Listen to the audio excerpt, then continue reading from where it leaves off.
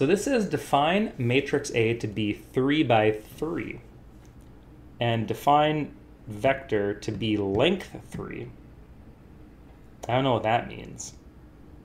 Like R3? Define f of x equals ax. Okay, so, but I think the idea here is like we want this, the function applied to this vector has to be like matrix composition, right? Like left-sided multiplication by a. And if a is 3 by 3, so we have like a, b, c, d, e, f, g, h, i, I'm a little uncertain. Like, I think x has to be in R3 is what they mean by length 3.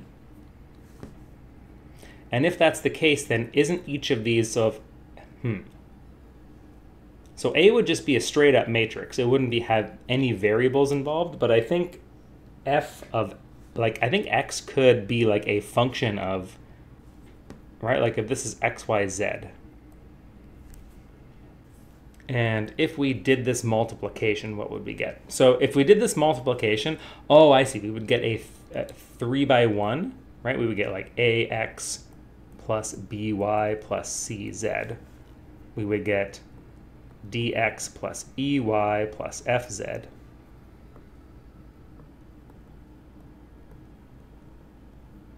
So it must be something like this, right? Yeah, like x1, x2, x3. So I'm just going to label it x, y, z because those, I think, are the standard variables that the textbook uses.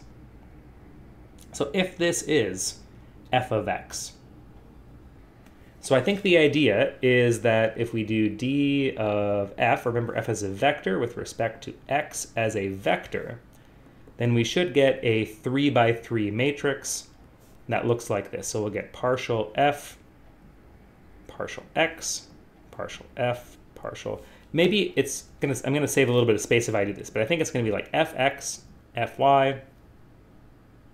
Oh, but it's components though, right?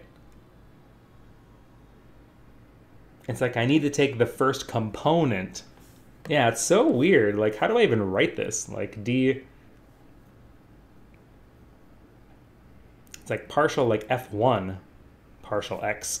like it's like the first component of f, and then it's like partial y. This the it's going to be component one, partial partial z component one.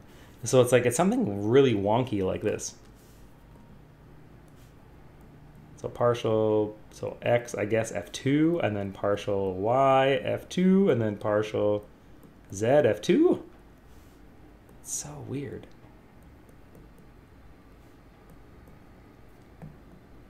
Okay, we're just going to roll with this. I think that, that makes the most sense based on kind of what I'm seeing. We do happen to have all of our components up top.